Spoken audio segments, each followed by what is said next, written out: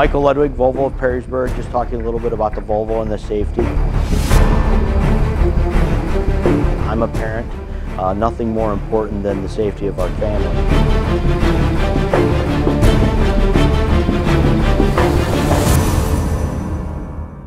There are three things that make this the absolute safest car on the road. Number one, the crumple zones, the breakaway engine that goes underneath the cabin in the event of a front end collision. The second thing, the breakaway brakes, keeps you from breaking your femur, uh, airbags for your knees. The third thing is the boron steel structure. If you're hit in the side, 55 mile an hour, nothing is penetrating that cabin.